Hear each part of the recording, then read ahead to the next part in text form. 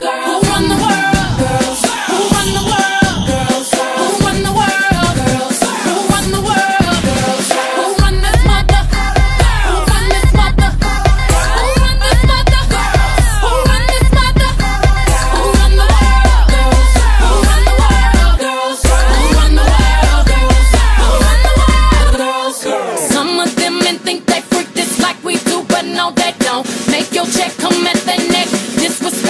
no, they won't.